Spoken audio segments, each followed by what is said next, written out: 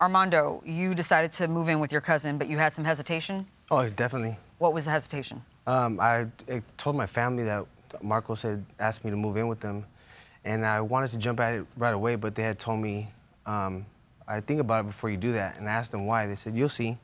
So upon moving in, yes, um, it was going smoothly as far as the payments.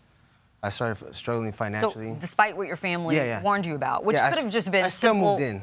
It- family, just because you guys are family and grew up close, doesn't mean that it's a good idea to live together. You can't live with everybody, True, right? true.